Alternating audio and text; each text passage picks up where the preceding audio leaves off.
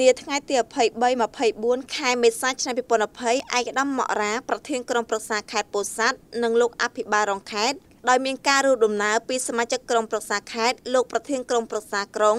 លោកចៅសង្កាត់និងលោកបេភូមិសម្ព័ន្ធយុវជនស្រឡាញ់សន្តិភាពបានចុះសាកសួរសុខទុក្ខ និងនាំយកអង្គចែកជូនប្រជាពលរដ្ឋនៅក្នុងភូមិបន្ទាយដីលើសង្កាត់បន្ទាយដីក្រុងពោធិ៍សាត់ចំនួន32គ្រួសារនិងភូមិឆ្លងកាត់សង្កាត់រលៀបក្រុងពោធិ៍សាត់ចំនួន15គ្រួសារហើយបានអប់រំសັບផ្សាយណែនាំអំពីវិធីបង្ការនិងទប់ស្កាត់ជំងឺ Covid-19 ជូនបងប្អូនប្រជាពលរដ្ឋផងដែរ។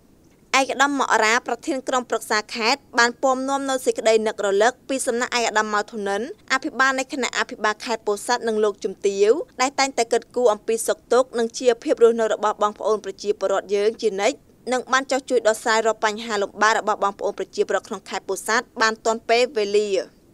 សប្តាហ៍នេះមេរោគ COVID-19 បានរីករាលដាលពីពេញពិភពលោកនៅក្នុងប្រទេសកម្ពុជាវិញមានអ្នកផ្ទុកមេរោគ COVID-19 គិតមកត្រឹមថ្ងៃទី23ខែមេសាឆ្នាំ2020នេះមានចំនួន122នាក់ព្យាបាលជាសះស្បើយបានចំនួន110នាក់នៅសល់តែ12នាក់ទៀតកំពុងបន្តព្យាបាលក្នុងនោះដែរក៏មិនទាន់មានប្រជាពលរដ្ឋណាម្នាក់ស្លាប់នោះទេ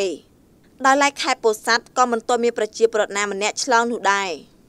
ខេត្តពោធិ៍សាត់មានបងប្អូនពលករចំណាក់ស្រុករាប់ពាន់នាក់ដែលវិលត្រឡប់មកកាន់ស្រុកកំណើតវិញដោយយើងមិនបានដឹងថាតើនរណាម្នាក់មានផ្ទុកមេរោគ COVID-19 ឬអត់នោះទេ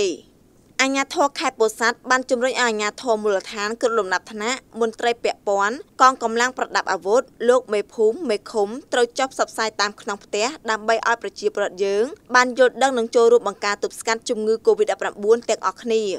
បើមានបងប្អូនណាម្នាក់ទៅត្រឡប់មកពីក្រៅប្រទេសត្រូវណែនាំពួកគាត់ឲ្យស្នាក់នៅក្នុងបន្ទប់ដោយឡែកឆ្ងាយពីក្រុមគ្រួសាររយៈពេល14ថ្ងៃជាមុនសិនបើពួកគាត់មានរោគសញ្ញាណាមួយមិនប្រក្រតីត្រូវជំរុញឲ្យពួកគាត់ទៅកាន់មណ្ឌលសុខភាពដើម្បីឲ្យក្រុមគ្រូពេទ្យជួយពិនិត្យនិងតាមដានរោគសញ្ញាឲ្យបានច្បាស់លាស់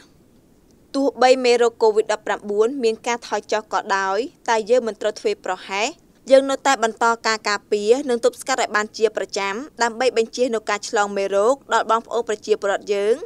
ដូច្នេះយើងត្រូវអនុវត្តតាមការណែនាំរបស់រាជរដ្ឋាភិបាលកម្ពុជា និងក្រសួងសុខាភិបាលឲ្យបានត្រឹមត្រូវអំណោយដែលយកមកចែកជូនបងប្អូនប្រជាពលរដ្ឋក្នុងថ្ងៃនេះគឺជាអំណោយរបស់ឯកឧត្តមម៉ៅធុនិនអភិបាលខេត្តនិងលោកជំទាវដោយមួយគ្រួសារទទួលបានអង្ករ10គីឡូក្រាមទឹកសុទ្ធ1ដបម៉ាស់1និងសាប៊ូក្រអូប1ដុំ។